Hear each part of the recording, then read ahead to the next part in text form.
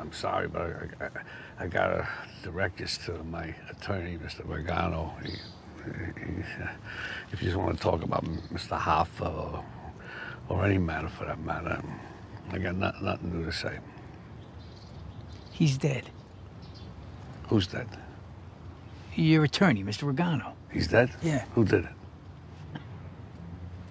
Cancer.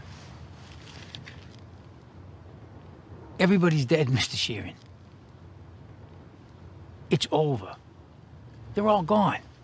Russell, Angelo, Salerno, Pro, Dorfman, Sally Bugs, they're gone. Who are you protecting?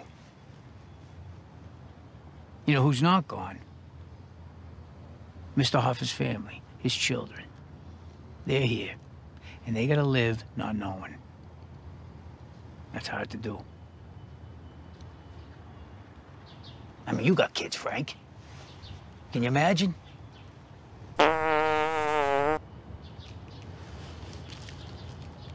Frank, it's time. It's time you say what happened.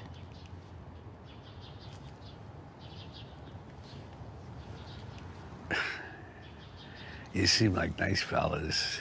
Yeah, I appreciate you coming to see me, but I, I can't help you. That's it? That's it.